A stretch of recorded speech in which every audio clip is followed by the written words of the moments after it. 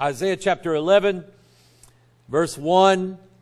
There shall come forth a rod out of the stem of Jesse, and a branch shall grow out of his roots. Verse 2 Here now are the seven spirits of God. The Spirit of the Lord shall rest upon him, the Spirit of wisdom, understanding, the Spirit of counsel and might, the Spirit of knowledge and of the fear of the Lord. Let me read a couple more verses down. Uh, and shall make him of quick understanding in the fear of the Lord. He shall not judge after the sight of his eyes, nor reprove after the hearing of his ears. But with righteousness shall he judge the poor, and reprove with equity for the meek of the earth. And he shall smite the earth with the rod of his mouth, and with the breath of his lips shall he slay the wicked, and righteousness shall be the girdle of his loins, and faithfulness the girdle of his reins. Heavenly Father, I need your help to preach this message. I pray, dear God, Lord, that you would speak uh, through my voice and through what I say as we go through your word this morning. We pray, Lord, that you would bless it. Lord, you do whatever you want to do in this service. You lead whichever way you want to lead. And Father, we'll just trust you in that. Uh, we're here for you, Heavenly Father. We're here to worship you. We're here to praise your name and the name of Jesus. We're here to be uplifted and comforted by your Spirit, the Comforter. And Father, we just ask God that you do those things with us this morning. Bless your word, we pray in Jesus' name. And all God's people said, Amen. I got to thinking about this message last night, and, and, I, and again, I, I, wasn't sure what direction to take it, so I just put down several notes on this that we're, we're dealing with, again, the, uh, the first of the seven spirits of God, which is uh, the Spirit of the Lord. And last week we went through some verses here uh, where it re- referenced the Spirit of the Lord. Um, uh, like in Judges, Samson went down and, and uh, the Spirit of the Lord came mightily upon him. It gave him his strength. And the Bible says, not by might, not by power, but by my spirit, saith the Lord. Um, again, Judges 14, Judges 15, that's all Samson. The Spirit of the Lord came mightily upon him. Uh, we talked about Saul. The Spirit of the Lord came upon him and turned him into another man. And also the Spirit of the Lord came upon David. And uh, the Spirit of the Lord departed from Saul. We looked at that very quickly. Uh, something that I think is important to remember, 2 Samuel 23, 2, and I don't know if I read this verse, but the Spirit of the Lord spake by me, and His word was in my tongue. And I want to tell you something. If you think you've got the Holy Ghost, but you think the Holy Spirit is drawing you away from God's word, you ain't got it. You don't have it. Jesus himself testified, the words that I speak unto you, they are spirit and right here, the Bible's telling you the Spirit of the Lord spake by me and His word was in my tongue. The Word of God and the Spirit of God will always act as the same thing. They are one in everything that they are. Uh, let me move on from this. Um, let's see here. I like this, Second, Corinthians 3, where the Spirit of the Lord is, there's liberty. Amen. If you've ever been in bondage, then you know what, you know what it feels like when you are made free. Amen? There's no feeling in the world like the feeling of being free. Uh, amen to that. Now, um, John chapter 1 verse 32, it says, it says in Isaiah 11, the Spirit of the Lord shall, and to me this was always interesting. It didn't say the Spirit of the Lord shall enter into him. It doesn't say that the Spirit of the Lord will take him over. It said the Spirit of the Lord shall rest upon him. And when I read that, I thought of John chapter 1. It's also in Matthew, it's also in Mark, and it's also in Luke. It's in all four of the Gospels when Jesus was baptized, began his ministry, the, the, the Spirit of God came down, descended down from heaven like a dove, and it abode on him. In other words, it literally rested on him. Amen? And everywhere that Jesus was, the Spirit of God was there with him. And that's why he said, I must go. I've got to go up to heaven because Jesus in his flesh body was limited as to where he could be. but he said, I got to go up to heaven so that the Comforter can come and he can be all over the earth. Joel prophesied that the Spirit of the Lord was going to be poured out upon all people, and your sons and daughters shall prophesy. So, uh, here's where I'm going to take it this morning. I'm going to ask the question, who is the Lord? Because the Spirit of this particular passage is the Spirit of, uh, let me go back to it, the Spirit of the, and then notice capital L, capital O, capital R, capital D. Now I've taught on this several times before. I've actually been doing some research into it, and uh, I'm going to share some things with you along that line, then I'm going to move on from there. So who is the Lord? And how do we know that that is actually the name that we should be referencing our God with?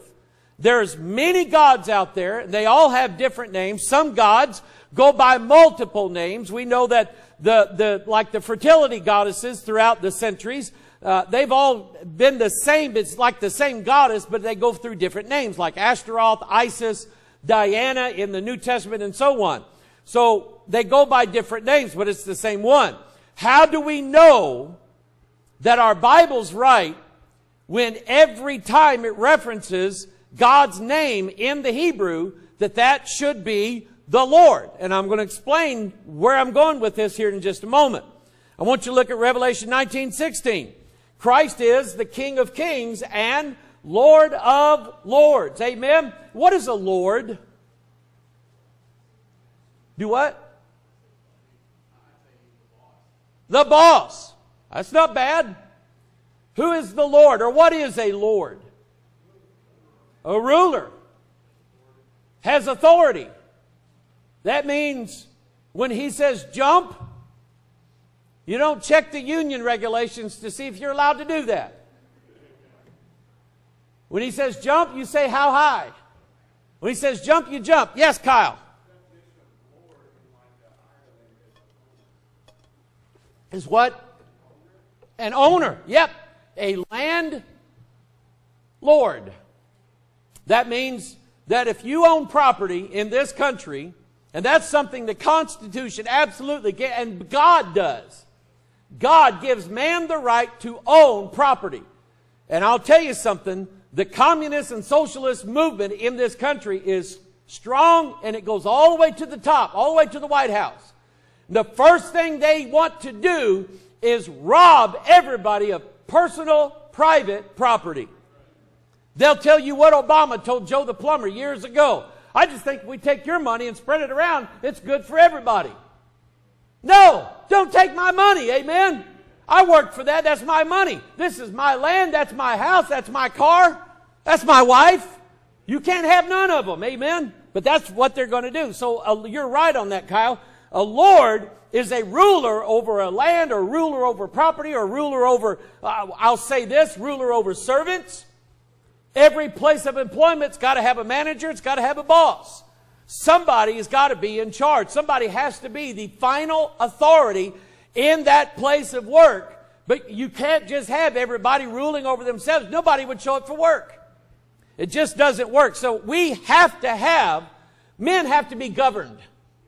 Men have to be ruled over. Sometimes that is not very wise, but men need it just the same. And what God is saying here is, I am in charge of you. I'm in charge of everybody. I'm in charge of everything and nothing is outside my governance or authority. Somebody say amen. So when the Bible calls Jesus King of Kings and Lord of Lords, it means exactly that. There is no king higher than Christ. There is no Lord who has more power, more authority, more land than Jesus has.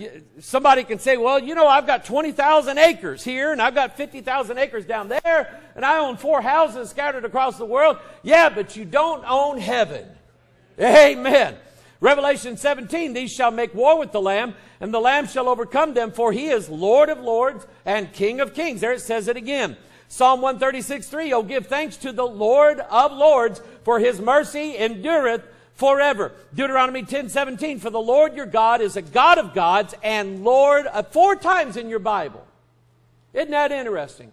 Four times in your Bible that God, the, Christ is called the Lord of lords, a great God, a mighty and a terrible, which regardeth not persons, nor taketh reward. That's exactly what we read in Isaiah chapter 11, is that when Christ rules and when Christ is the judge and authority over mankind, he does not care about how your face looks to him. He's not afraid that you're angry with him. He's not afraid of you. He doesn't look upon you and say, well, you're a higher status than these people over here, so I'm going to rule in your favor.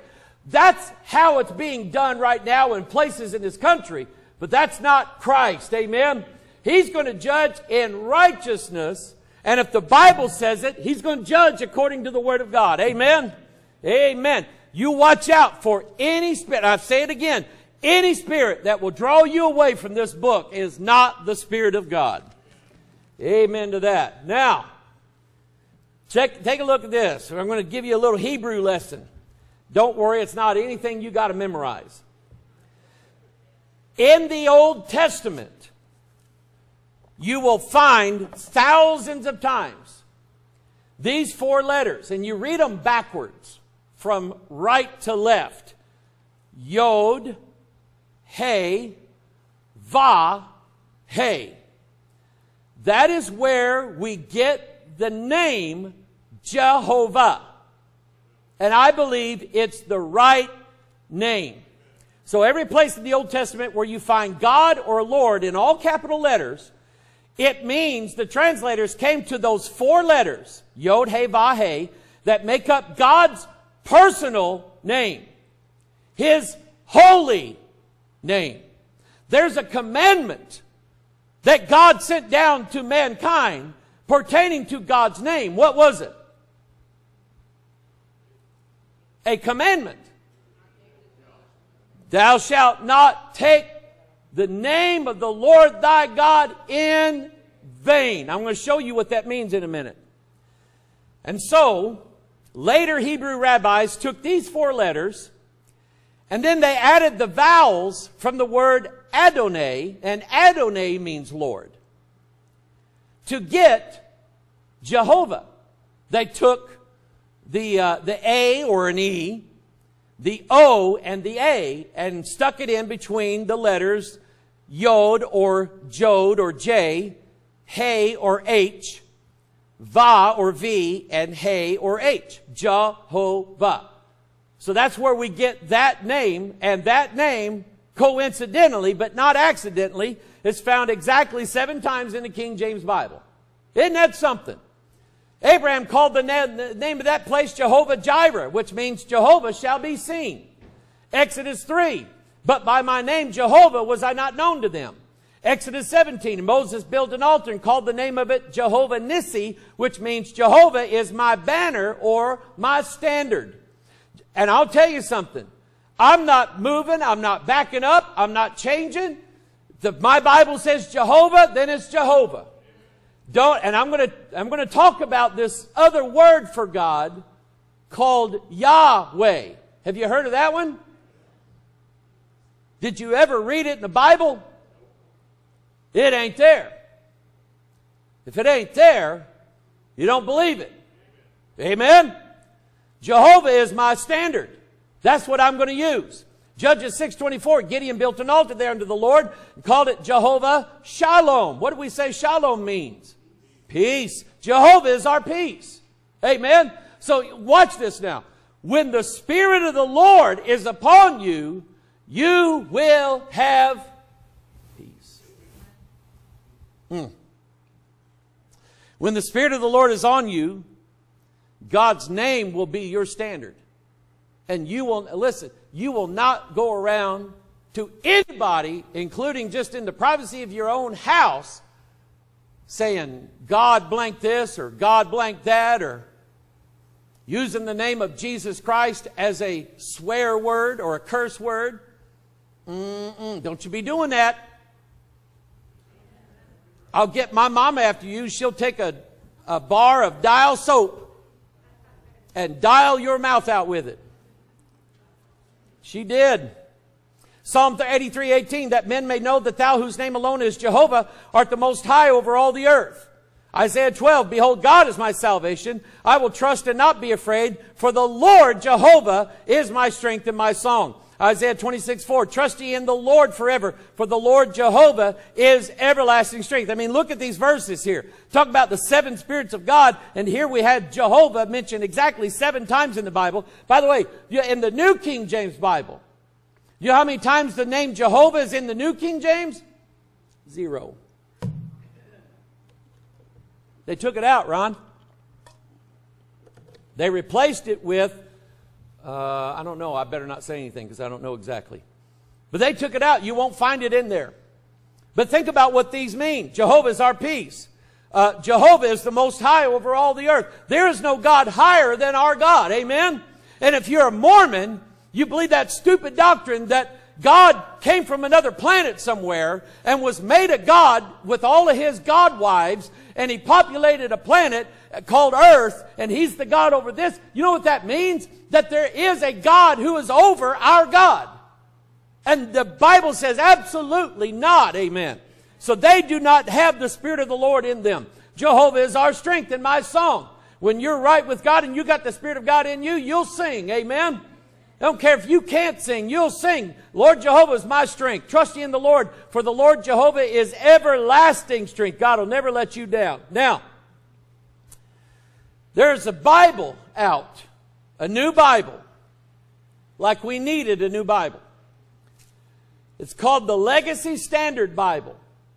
It is put out by John MacArthur. You ever heard him?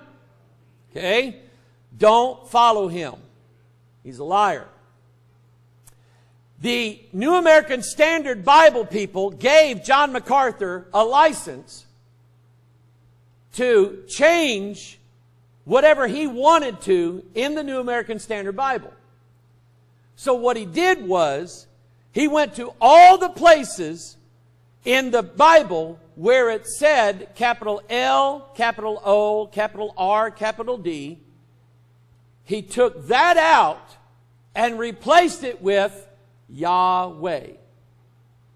Now, again, I don't, I don't exactly know where this word Yahweh, how it crept in, who brought it up first, or whatever. But there is no biblical authority for it. My Bible doesn't say it. My Bible doesn't use it. It's not in here, so I don't believe it. Now, I'm, I'm dead serious on this issue. We know that Christ has an enemy, an archenemy that we call the Antichrist. We know that Paul said to watch out for another Jesus. We know that Christ told us, Matthew 24, for there shall be many Christs. Many shall come in my name saying, I am Christ, and shall deceive many. I think it is important that you know who you're singing praises to, that you know who you're praying to, that you know who is forgiving your sins or who will forgive your sins, that you know where your salvation is coming from. You better make sure you've got the right God. Amen? And when it comes to this thing called Yahweh, I don't know who that is, but I don't call him that. I used to back years ago because I learned it in Bible college. I don't, I don't say that no more. He is Jehovah, Lord God Almighty. Amen. I like, I might do that song. He is Jehovah, Lord God Almighty. Who remembers that one? I like it. I used to sing that years ago. Then I found out Kenneth Copeland sang it. But here's what they did. They, I mean, MacArthur took out the word Lord. Every place, L O R D in all capital letters, and he replaced it with Yahweh, including the New Testament. Now I'm going to show you why this is wrong, okay? Deuteronomy 6:16, you should not tempt the Lord your God as ye tempted him in Massah. Now, Notice that you have the, let me get over here. Michael, follow me here. Notice you have the Lord in all capital letters. Again, that means that those four Hebrew letters, Yod, He, Vah, He, that's what's here. So every time the King James translators got to that name, they said the Lord. Now, they're accused of making that up and saying that's not really God's name. That's like a title, but the Lord is not his name. Well, I beg to differ with you. In fact, I'm going to bring a witness in named Jesus Christ, and we're going to let Jesus Christ tell you what that name means. Deuteronomy 6:16, you should not tempt the Lord your God. Jesus used that very verse from the Old Testament when he is being tempted by the devil. Jesus said unto him, It is written again, Thou shalt not tempt who? Jesus said it in Greek, but he called him the Lord where this word was used. Um, the Greek word here is kyrios, and that means Lord. So every place, let me show you another one here. Every place in the Old Testament, if the Old Testament is quoted by the New Testament, when the Old Testament has this Lord in all capital letters, it's Jod He Vah And then in the New Testament, well, here it is, the New Testament. Here's the Old Testament. The Lord said unto my Lord, Sit thou at my right hand. And this is about David, who is calling his son Lord. And Jesus said, He saith unto them, How then doth David in spirit call him Lord, saying, The Lord said unto my Lord, Sit thou on my right hand till I make thine enemies thy footstool. So again, Jesus himself said that this word in Hebrew is the word Lord. Jesus said so. Uh, I got another one for you. Deuteronomy 18:15, the Lord thy God will raise up unto thee a prophet from the midst of thee. Moses said that. In Acts chapter 3, for Moses truly said unto the fathers, a prophet shall the Lord your God raise up unto you. Again, the New Testament is giving you the authority of why he is called the Lord. And I want to tell you something, rightfully so. When you take that Lord out of your Bible and you just replace it with this name that nobody knows what it is, nobody knows what it means, but it doesn't mean the Lord, Yahweh doesn't mean that. When you take that out, you are taking away the authority. You're taking away the Lord who rightfully has authority over every one of us. And I'll tell you something, John MacArthur. This book is not your book to change. It is not your word to alter and make it into something that your own wicked flesh wants to turn it into. This book belongs to God, copyrighted by God. Forever, O Lord, thy word is settled in heaven. There's a copy of this book sitting on God's coffee table up in heaven. Amen. And it's always open. Amen. And it says exactly what this book says. And God said, don't alter it, don't change it, don't add to, and don't take away from His Word. Amen. Blessed be He that, I like this one, blessed is He that cometh in the name of the Lord. Matthew 23, Psalm 118, blessed is He that cometh in the name of the L-O-R-D. Now, um, oh yeah. Now this here's the here's the commandment here at Exodus 20. And uh, by the way, I, I was thinking last night about this message, and I didn't know how I was going to preach it, not didn't know what I was going to say. And the thought came to my mind: if if this sermon or any sermon that I preach is converted into a movie, then I, at best, am a supporting actor in this movie. The primary actor is the Word of God. I'm only here to support this book. This book has final authority. And I know that as long as I give the words that are in this book to all of you, I don't have to worry about how people are going to receive it, what people are going to say about it, how they're going to react, because that's up to God. That's not up to me. I'm just the supporting actor to the real one who is Jesus Christ, who is the Word of God. This is the important thing right here. So, thou shalt not take the name of the Lord thy God in vain. I was taught that you don't go around saying Jesus Christ unless you're praying or you're witnessing or you're reading the Bible. So many people now, there's, and I don't know if you've noticed it, there has been a change in how people curse in public. When I was young, people would use hell or damn, both of those are Bible words, in public, but the F word was not something they used a lot of. But now, and you know, I never heard my dad use the F word. Never.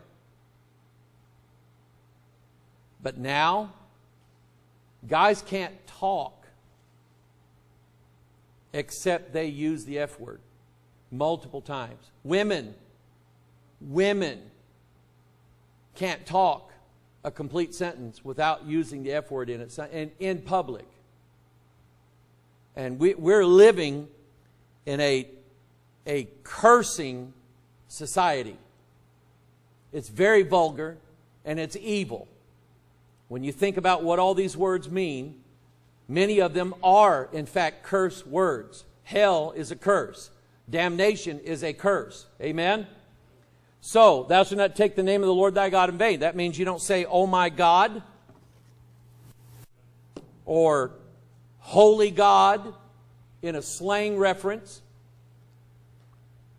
What really gets me upset is when they say Jesus blanking Christ. I wish I had a bar of dial soap. No, lava. Scour it real good. Amen. Notice Leviticus 24 11. The Israelitish woman's son blasphemed the name of the Lord and cursed. What did he do? Took God's name in vain. He cursed using God's name. And they brought him unto Moses. And his mother's name was Shelomith, the daughter of Dibri of the tribe of Dan. And they put him in ward, in other words, they put him in the jail, that the mind of the Lord might be showed them. They weren't going to act on this until they knew what God wanted to do. And the Lord spake unto Moses, saying, Bring forth him that hath cursed without the camp, and let all that heard him lay their hands upon his head, and let all the congregation stone him. That was the punishment for saying God's name in a curse way. Verse 15, and thou shalt speak unto the children of Israel, saying, Whosoever curseth his God shall bear his sin. And he that blasphemeth the name of the Lord, he shall surely be put to death, and all the congregation shall, shall certainly stone him, as well the stranger as he that is born in the land, when he blasphemeth the name of who? The Lord. Not Jehovah, not Yahweh, or not Yahuwah. The Lord shall be put to death. God is serious about this. And I want to say to you, parents and grandparents, number one, you ought not be saying those words to begin with. Number two, you really should not ever use that kind of language in front of your children or your grandchildren. I was doing work on a house one time. It was up in St. Louis County, and uh, they were doing, finishing their basement. And I was there, uh, going to paint the basement out and everything like that. And it was just typical suburban couple, a man and a woman, and they had uh, like a teenage daughter, and they had a had a uh, about a 10, 11 year old son. And uh, I remember being in the stair hole of that house, you know, just doing my work.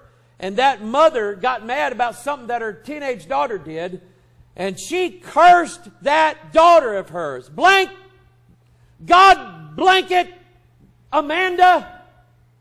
And that just went all over me. And I, Lisa, I don't know if you remember this. I come home and I told you about that, and I said, I don't ever want to get into a place where I would use that kind of language concerning my own children. Don't care how mad I am at them. Do not take God's name in a cursing way. Do not say his name wrong. Do not, do not use his name. And let me tell you about using his name in vain. Deuteronomy 32 says, I will publish the name of the Lord. Ascribe ye greatness unto our God. Now I want to tell you something. The King James Bible is not the first Bible that showed up that uses the word the Lord as God's personal name. The Tyndale Bible had it, Wycliffe's Bible had it, the Latin Vulgate, the, um, the, um, the Old Testament that was translated into Greek 200, 300 years before Christ ever came, every place where they found that the word Yod He Bah He there, they put Kyrios there in Greek, Jerry. That means those Hebrew rabbis, they knew what God's name was. God's name is the Lord. We're not going to change it. Amen. We're not going to change it. So 1 Samuel 17, look at here. David, uh, then said David to the Philistine, Thou comest to me with a sword and with a spear and with a shield. But I come to thee in the name of the Lord of hosts, the God of the armies of Israel, whom thou hast defied. I want to tell you something. David was operating under the power and authority of God himself. He's telling Goliath, you come after me with that big old spear, you got that big old sword, you got this big helmet on, you got all that armor on you. You come to me that way. Well, look at me. I ain't got no sword. I don't have a spear. I don't have no armor on. I ain't got nothing but a sling and a stone, but I'm fixing to take your head off. I come to you in the name of the Lord of hosts, whom you have, you've defied them. 1 Kings 18, 24, and call ye on the name of your gods, and I will call on the name of the Lord, and the God that answereth by fire, let him be God. And all the people answered and said, It is well spoken. I just, I don't know. I don't know that I can prove it. But I'm just of the opinion that this other word, Yahweh, might very well be the name of a different God. Now I want you to think of the ramifications of that, if what I said is true. Where this legacy standard Bible that John MacArthur has put out They've taken God's personal name, the Lord, completely out of it, and everywhere they've put Yahweh. So who are they praying to?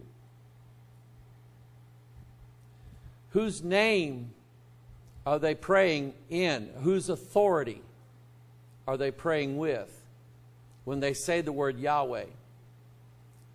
Psalm 20, verse 7 Some trust in chariots some in horses. But we will remember the name of the Lord our God. You know, I, I'm of the opinion that if our nation would turn back to the Lord and put God first in our country, we wouldn't have to spend a hundred billion dollars in national defense. God would make every nation in the world scared to death to come against us. For David's sake, nobody invaded Israel under Solomon's reign. Why? They had too much fear. They said, We're not touching them. Those are God's people. That's David's son on the throne. We're not going against them. There was power in the name of the Lord our God. Somebody say amen. Psalm 102. So the heathen shall fear the name of the Lord, and all the kings of the earth thy glory. Psalm 116. I love, look, notice how many times the word Lord is in this little, little, little clip of the word. I love the Lord. because he hath heard my voice and my supplications. When you have the Spirit of the Lord in you, when you pray, you just know God's hearing your prayer. And there's just very little, if any, doubt in your mind at all. Because he hath inclined his ear unto me, and therefore will I call upon him as long as I live. The sorrows of death compassed me, and the pains of hell gat hold upon me. I found trouble and sorrow. Then called I upon the name of the Lord. O Lord, I beseech thee, deliver my soul. Gracious is the Lord and righteous. Yea, our God is merciful. The Lord preserveth the simple. I was brought low, and he helped me.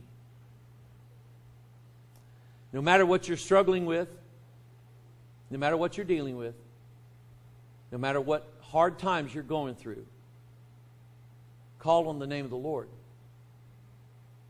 Call on the name of the Lord. Psalm 124 Our help is in the name of the Lord who made heaven and earth. Psalm 148 Let them praise the name of the Lord, for his name, is, his name alone is excellent. His glory is above the earth and heaven. Listen, there is no higher name than the Lord. In fact, in, at least in this country and in most English speaking nations, when you say, the Lord helped me, everybody knows you're talking about the one God. God's name is his reputation. God is, amen. Thank you, Roy. God is known by his name, and that his name is trustworthy, and you just know to expect good and right things in the name of the Lord.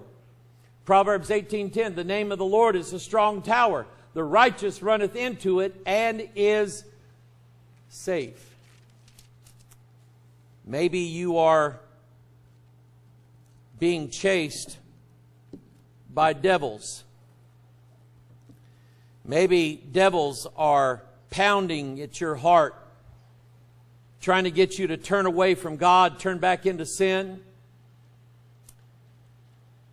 Maybe you're in fear of your own life, either by the hand of somebody else or possibly by your own hand. Call upon the name of the Lord.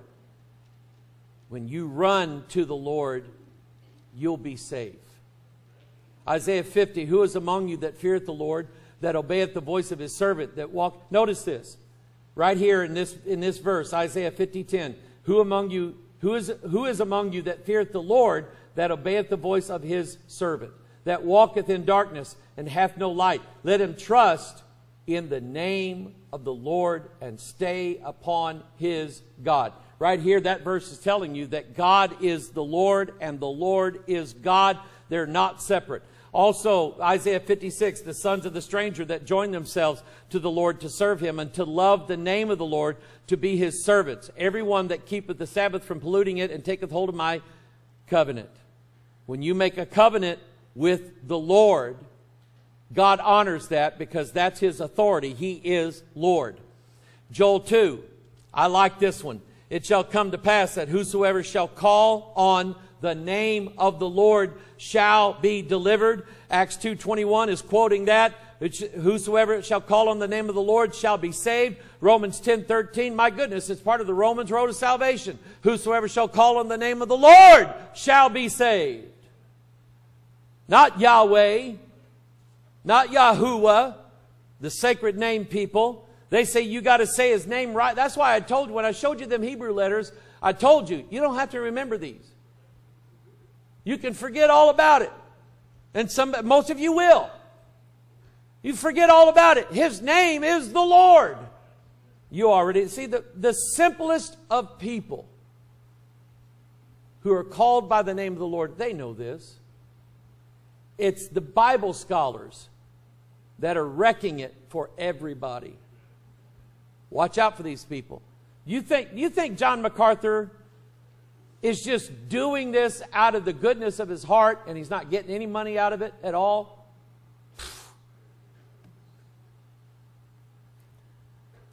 Isaiah 26, 13, O Lord our God, other, watch this now, other lords beside thee have had dominion over us.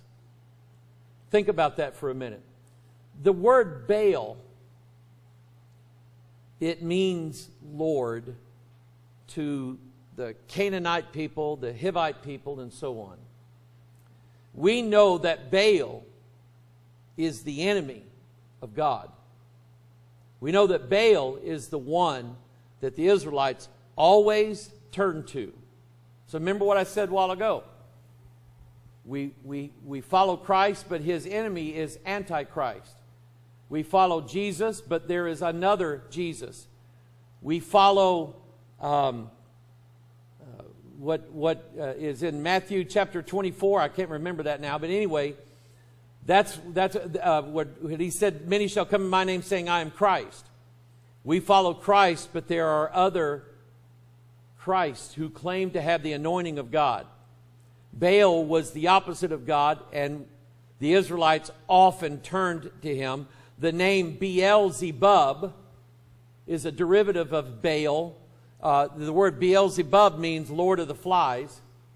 And um, any place you see the name Bel, that basically is Baal. Um, other lords that ruled over you will include Satan. He's a principality. He's the prince of, the, of darkness. He's the prince of this world. He's the prince of the power of the air.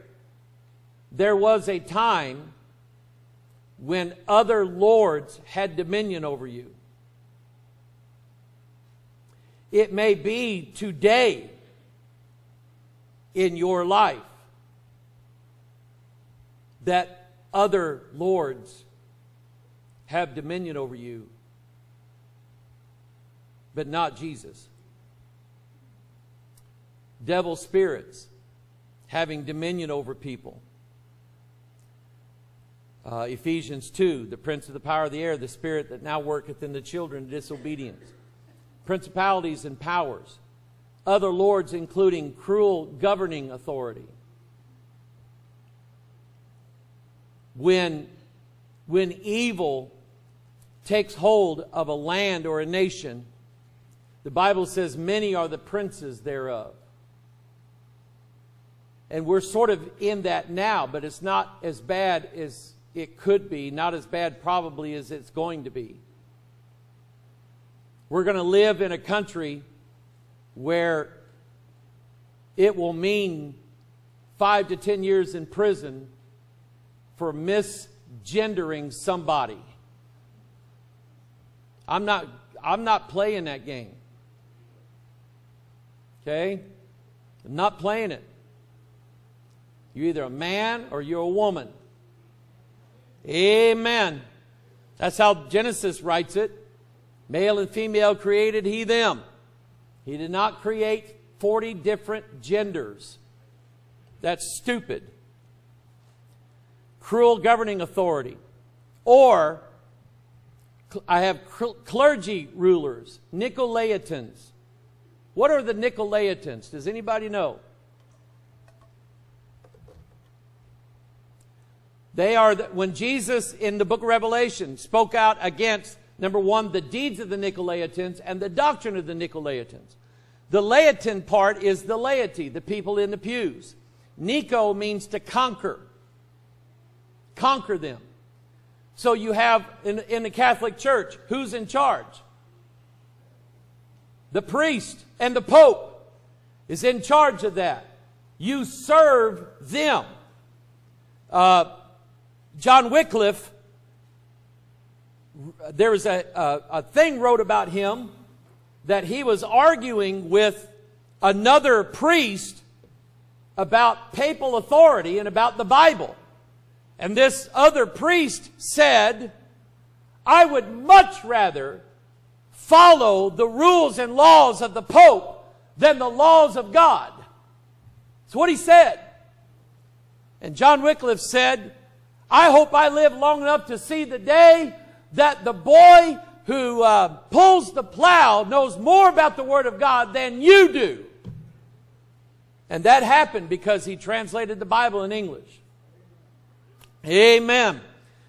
Whenever you have other lords over you, you, and it's not just in the Catholic Church, it's any church or any religious system where you put a man or a woman in charge of your life. And that person tells you how to live, they tell you how to eat, they tell you how to dress, they tell you who you can be with, who you can't be with, and on and on and on. And there are cults like that all over the world.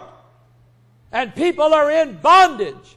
If they would live to the Lord, God would put them under His authority. That's what He said. Our Lord, our God, other lords beside thee have had dominion over us, but by thee only will we make mention of thy name. And his name is the Lord. I'm going to ask you this morning who's in charge of your life? What lords are you following right now? Is it old habits? Um, if you haven't watched Thursday's Pastor Mike Online, I encourage you to do it. We have a family follows our ministry for years. Their adult son it's been discovered by his own daughter that there are illegal things on his computer. And this man's daughter said to her grandparents, I don't feel safe at home, so she moved in with her grandparents. They've got her in school. They called me to tell me what was going on. And we all agreed that the best thing to do is he's got to stop doing what he's doing. So they called local law enforcement to report to them what their own son's doing. That's not easy to do. It is not easy to do. But sometimes it's necessary. God has a simple rule in the Bible. If you will not place yourself under God's authority, He will put you under cruel authority. And you know, I was reading the YouTube comments of that video last night. And there's comments on there where people are saying that it's a constant battle with them struggling with legal versus illegal images. It's a very, very, very disturbing trend in our nation, and it's taking over. That's cruel authority, people. Many lords, other lords, will have dominion over you you need to be made free. Let's bow our heads.